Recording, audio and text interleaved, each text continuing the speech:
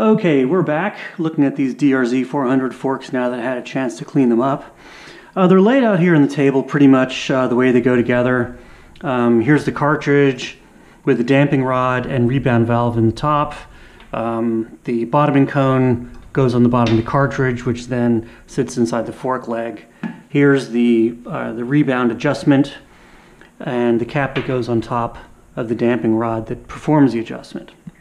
Here at the bottom of the fixed tube, actually it's not the fixed tube, it's the sliding tube, um, we have the bottom cap and the compression valve, which came out as one unit before, um, but they're actually separate parts. And then of course we have a spring and, and this cap, which you know sits around this guy. So, uh, we already looked at the adjustments and how the rebound adjustment valves the flow between this hole and the end hole.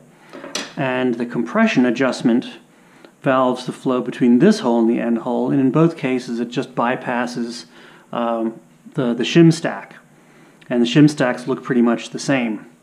Um, so we are going to adjust these shim stacks. I'm not going to um, I don't really know exactly what they need to be, and I don't know what they need to be for you, so we're not going to go into that, but I'm just going to tell you how we take them apart. The, the metal of the, the thread has been flared when these uh, forks are manufactured. And you can see on both of them, well, you certainly see it on yours, but hope you can probably see it on mine, is that um, you can see the punch mark on the end of this.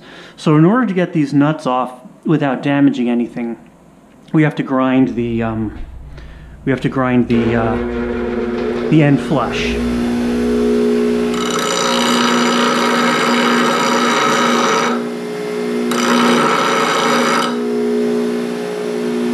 And that's good. That's about all we need to do is just grind that rod flush with the nut to take the swage section off it We're going to grab a 17 millimeter wrench to hold this because as I said, almost everything's a 17. That lets the nut come off pretty easily.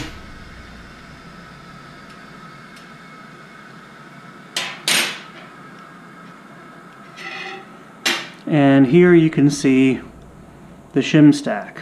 I'm just going to take all these parts off in order. First, there's going to be a series of these shims.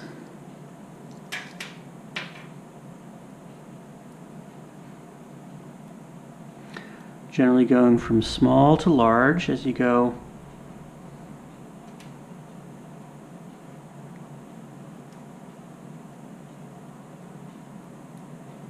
up the stack. Then you have a small shim, which is called a crossover shim. And then in this case, you have three or four, I believe it's three in this case, um, more of the heavy shims. And the idea here is that the heavy shims bend down to let the oil flow by under mild compression. And then this crossover shim creates a gap that allows the shims to open and then when they flex far enough to cross the gap that's created by this shim, they start to touch these shims, which gives additional resistance to the bending of the shims. So you have low speed compression and then you have high speed compression that kicks in and this crossover shim is what separates those damping functions. On the other side of the of the valve, you just have a check valve. And the idea here is that, remember this is a rebound adjustment, as the fork compresses, the oil can freely flow past this check valve to refill the damp the uh, the upper part of the of the cartridge.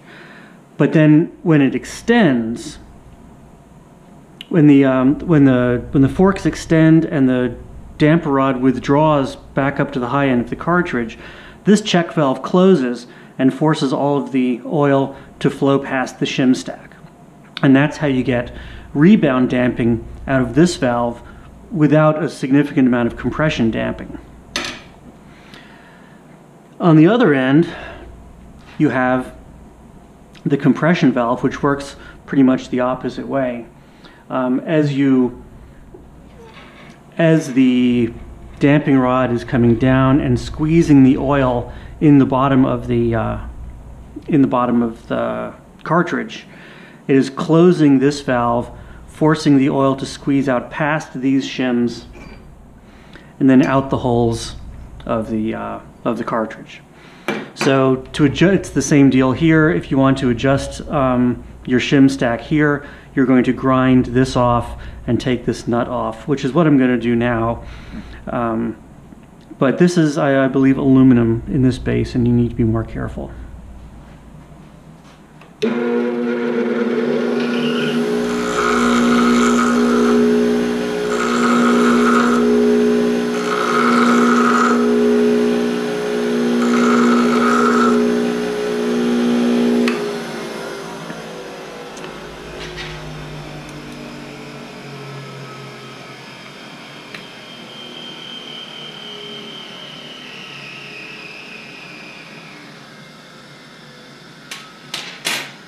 And so our compression stack is pretty much just the same way except the way we assemble it's upside down. I'm just going to keep it going this way. First we have all the check valve parts and then we have the shim stack.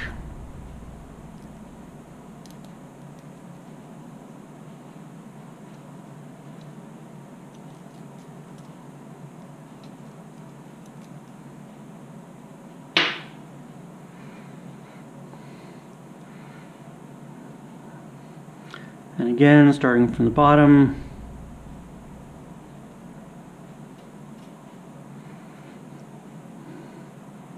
we have the taper stack of shims.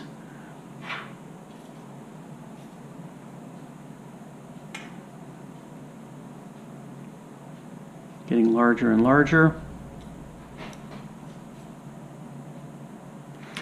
There's our crossover shim. Here are the big stacks, the big shims. Wow, five of them in this case, that form the low speed compression damping. So I hope you can see that against the steel table. It's kind of hard to see, but uh, basically those are the parts. So at this point you're going to adjust these shims uh, to basically give it the damping that you're looking for. Um, if you want uh, if you want more low speed rebound damping, for instance, you're going to go stiffer on this uh, stack of shims here, more high speed rebound damping, and honestly, I don't think anyone's really going to care so much about the rebound for these bikes. Um, but you'd be affecting this part here. Uh, the stuff that you're mostly interested in here is compression, and it's the same deal. You have the low speed compression stack, crossover shim, and the high speed compression stack. So I will put those back together. Um, but while I'm here, let's just take a look at the rest of the parts. The fork slider now is just a clean slider. And just so you see how it goes apart, uh, sorry, goes back together, uh, the bottoming cone, whose function I described before, sits in here against this snap ring.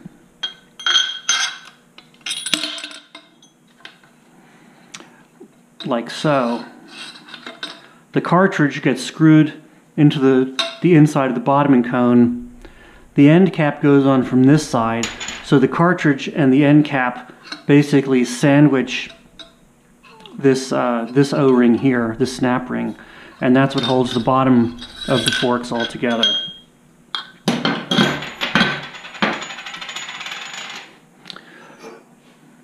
Up at the top, the, uh, the damping rod comes out here and this step in the damping rod bottoms out in the top of the fork. There's in the bottom, sorry, in the cartridge. There's actually a spring in here, which is your top out spring.